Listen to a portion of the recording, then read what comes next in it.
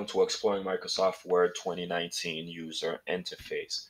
What we are going to do today is do a high-level overview of the Microsoft Office, uh, Microsoft Word 2019 User Interface.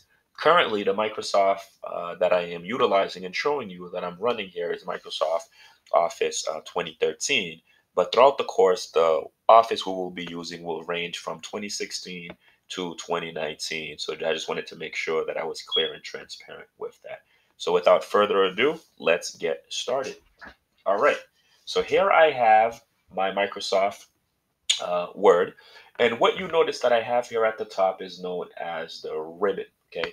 The ribbon uh, is something that is consistent throughout across Microsoft's products where they utilize it a lot.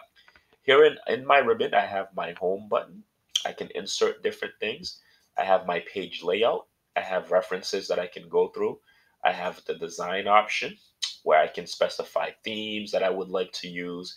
And the themes usually come in handy in case of a company has different color marks, um, color combination that they would like to utilize, etc. I have mailings where I can specify, create labels, mail merge, and select recipients for a lot of those things. Underneath that, I have a review option where I can review information in my Word document.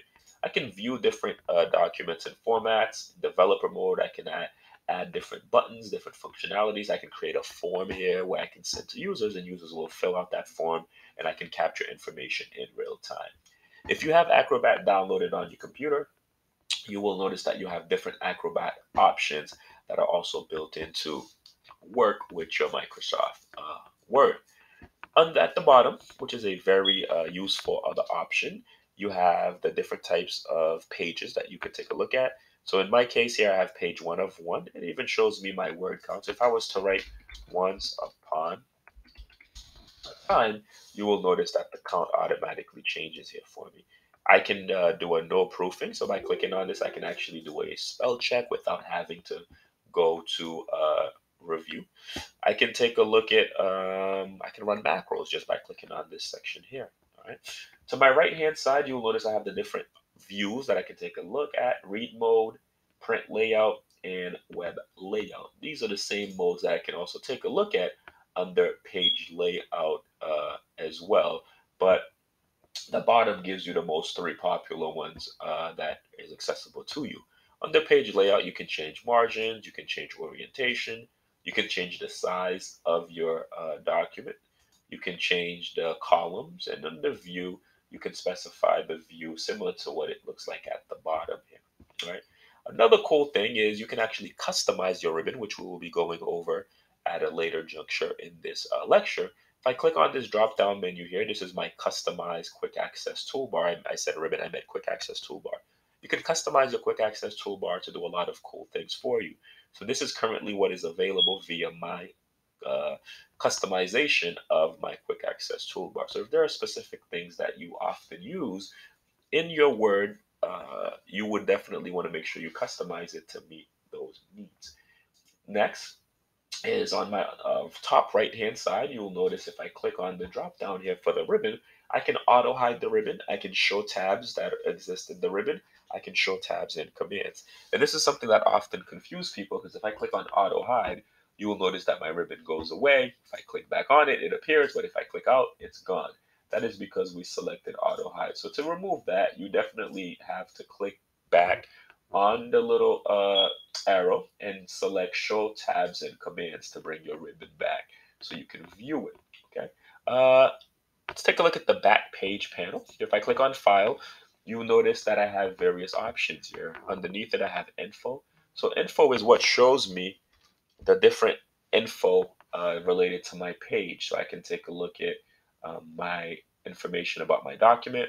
If I click on new, I can take a look at all, I can create a new document or I can use a template document that's also available to me. I can open any previous information that I've had. I can save, sorry about that. I can save uh, documents, okay, uh, in different files and formats. I can share documents with users or post them online or present them online. I can export information uh, utilizing a PDF or XPS or any type of format that uh, Word supports.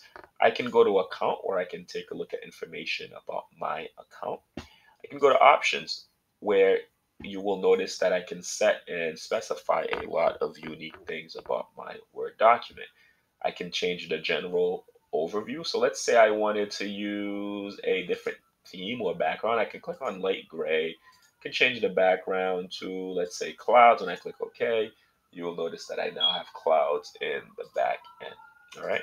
The next thing that I can also do is the following. All right. I can go to display.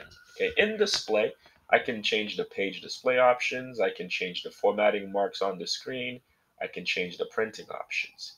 Under proofing, this is where I can change and specify my uh, proofing or my grammatical corrections or autocorrects.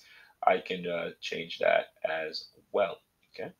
Um, save, I can specify how I want my uh, document to be saved. So do I want it to automatically save and recover every 10 minutes? I can actually change that to one or two minutes, which is, saves you a lot of headache, believe it or not, especially if you're like me, someone who often forgets to save the work that they're working on.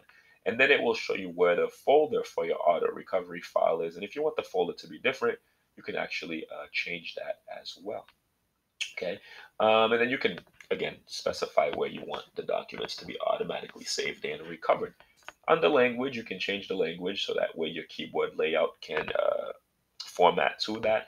But be mindful of that because if your the operating system you're running does not support that, um, you may run into some issues. Under advanced, you can customize your editing options, your copy and paste option, customize ribbon. You can customize the ribbon however you'd like. In the quick access toolbar, you can also customize the quick access toolbar. Under add-ins, you can download or bring it in for any uh, fun and cool functionality that Office has to offer. So in my case, uh, one of the things that I think I brought, I'm going to show you how to bring in is uh, Grammarly, because a lot of people are using Grammarly now to automatically correct and check what's in. So if I click on Go, right, you'll notice that I can add my Grammarly, and I can click OK. So Grammarly is automatically added to my um, document, so that way it can automatically check information for me, right? Which is a you know, unique and useful add-in in my opinion, right? Uh, under the Trust Center, this is where you can actually go and actually specify all the different trust options, such as security, uh, protecting your documents, securing it, uh, specifying the privacy options that you would like to create, so that way users can't just come in and use your document as they please. So this is a high level overview of the user interface for Microsoft Word. Thank you for watching.